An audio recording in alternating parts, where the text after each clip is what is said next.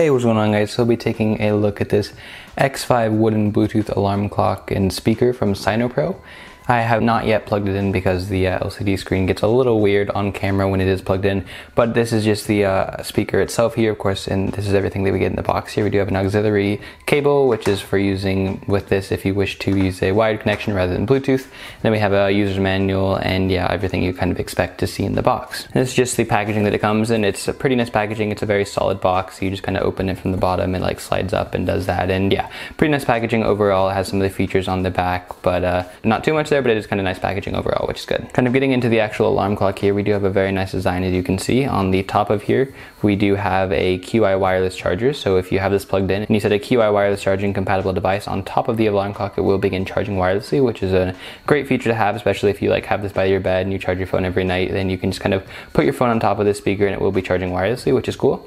We then have a little NFC thing down here, which is for pairing to the speaker if you have an NFC compatible device. It's really easy to just kind of go into your phone's Bluetooth settings and pair to the speaker using the settings, but if you want to, you can just kind of tap your NFC compatible device on here and it will pair it to the speaker.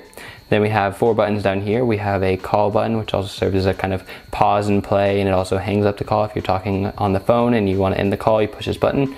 You can also answer the call and, like I said, pause and play the music. We then do have volume controls for the speaker, and then we have a snooze button because this is, of course, also an alarm clock.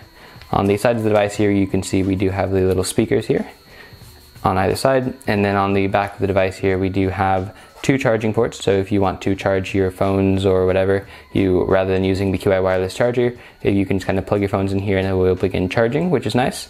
Then we have a, a DC 5 volt input, which is of course for powering the device. We have an auxiliary input, which is if you want to use the auxiliary cord rather than using the Bluetooth for playing music. And then we have the alarm, time, and up and down buttons for setting the time and all of that. So we'll go ahead and uh, plug in the device here, even though it kind of breaks a little bit on camera, as I'll show you. So if we go ahead and plug it in like this you can see that the numbers are kind of running around the screen here, which does look a little weird, so just kind of ignore that. I will show you uh, on pictures what it looks like, because as you can see, it says like, you can kind of make out that it says 25 degrees Celsius. It is kind of interesting that the numbers are flying over here, because that's really not what's happening in person, but it is kind of a cool effect, I guess. But again, not exactly what you want to see when you're trying to see how the uh, thing works. But like I said, I will go ahead and show you pictures of this here. As you can see on screen now, this is what the uh, alarm clock looks like when it is in use. On the right side, you can see that we do have a little temperature that says kind of the temperature around you in the room, plus or minus two degrees. And then we of course have the time on the left, and then we have little LEDs that tells you whether or not you have the alarm set. If the little alarm LED is blinking, it means that the alarm will only go off once. And if it's on a solid color, it means that the alarm will be repeated every single day. So it is kind of nice if you only want to use the alarm once, you can just turn it on so it'll go once, you don't have to worry about turning it off. Or if you do want to use it every day, you can just kind of keep it as a solid LED and it will go off repeatedly, which is good if you have to work every day of the week at the same time or something like that. So unfortunately, there is no battery in this alarm clock. So if you do unplug it, then it will reset the time after about five seconds. It does kind of work for like five seconds. So if you unplug it and then plug it back in right away, it still keeps the time. But if you do unplug it and leave it for more than about five seconds, it will reset the time to 12 noon, which is kind of annoying because it's really inconvenient to kind of reset the time. I guess it's not that big of a deal, but it is just kind of annoying to have to reset an alarm clock every time it gets accidentally unplugged. While we're on the topic of things getting accidentally unplugged, that is something that happens very, very often with this alarm clock. The connection for the uh, power input into the alarm clock is very, very loose, and so you kind of bump the alarm clock at all and it becomes unplugged, which is really annoying. Like I said, it wouldn't be that big of a deal if the time didn't reset every time it got unplugged, but because the time does reset every time it gets unplugged, it is really inconvenient. So even if you like have it by your bed and you kind of like lay on your bed a little too hard, maybe bump your nightstand which has the alarm clock on it. More times than not, this cable will become unplugged from the alarm clock and you will have to reset the time, which is like I said, pretty annoying. It would be a lot nicer if the cable was more secure. And that probably is my biggest problem with this alarm clock, unfortunately, because it's kind of a big deal if every time you touch the alarm clock, the cable becomes unplugged. Like I said, it's not a huge deal, but it does get kind of annoying and it gets annoying pretty quickly because you will have to reset the time every time it gets unplugged.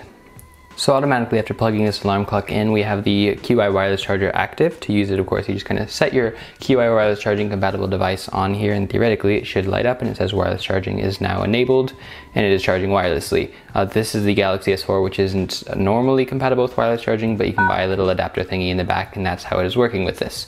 A lot of Android devices do have it built in natively and so that you can use them of course with this here.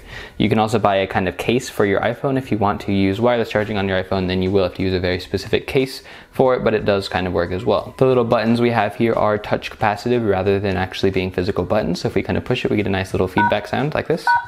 I just said what all these buttons do. Like I said, they are little capacitive buttons, so it's not an actual physical button, which is a good and a bad thing. I would say it's not such a good thing for an alarm clock because it is really hard to tell the difference between the buttons if it is dark. However, it is still kind of cool and it just gives the alarm clock a very nice effect and it is just kind of cool to push these little capacitive buttons and then you get a little feedback and yeah. Also upon plugging this alarm clock in, the device does go into pairing mode and so to use it with your iPhone or Android device, you will just go into your phone's Bluetooth settings and kind of connect. It will show up as X5 and once it is connected there, then it will be connected and you can play music through it or answer the phone through it and things like that, which is cool.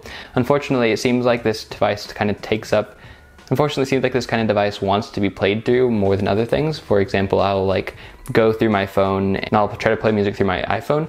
However, I've had problems with it like automatically connecting back to this X5 rather than just playing through my iPhone. I haven't had that problem with any other device, so I don't think it's my phone.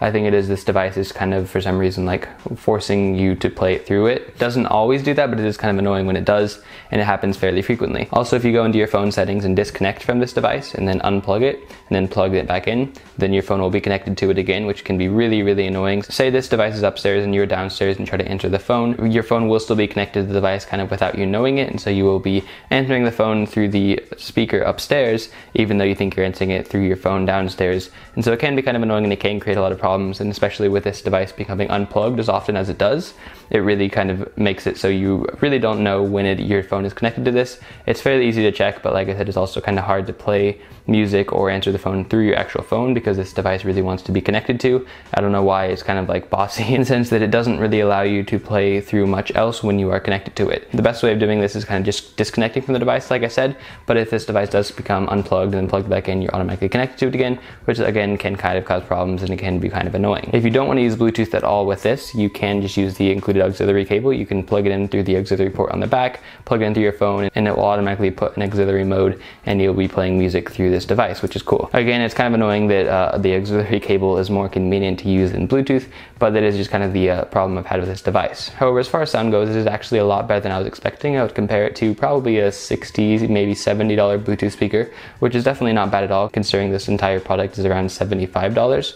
I think a big part of it is the wood construction. It kind of helps with the acoustics. I could be wrong about that, but it seems like it does help a lot and most wood speakers I have sound a lot better than plastic ones or even metal ones. So it definitely does sound better than I was expecting and that combined with all of the other features kind of tied into this makes it a pretty good speaker. Again, my only two problems with it are one, that it becomes disconnected from the power cable really, really easily, and two, that the kind of Bluetooth is a little weird in the sense that it randomly disconnects and connects from your phone and does things like that. It's annoying. It doesn't really do it while you're actually playing music through it, but if you like put your phone in sleep mode and you wake it back up, it'll randomly be not connected to it or it will be connected to it when you don't want it to be.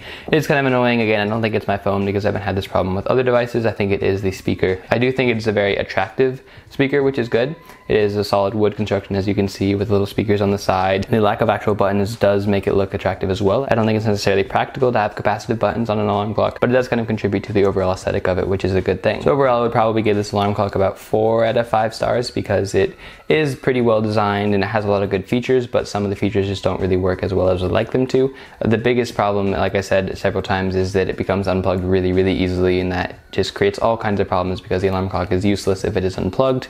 And with how often it is unplugged accidentally it is just kind of annoying and you do have to reset the time every time it gets unplugged. So not really a good thing there. Maybe if you have it in a very secure location or maybe it's just my alarm clock that gets unplugged easily and other ones won't be because it is a wood construction so I feel like each alarm clock will vary slightly. Maybe yours will be different enough that the plug will stay better and that would be a very good thing but yeah, anyway, this has been my review of the SinoPro X5 multifunction wireless charging Bluetooth speaker alarm clock. It does have a bunch of different features, so it's kind of an interesting title, but that is what I would call it, is I guess just the SinoPro X5.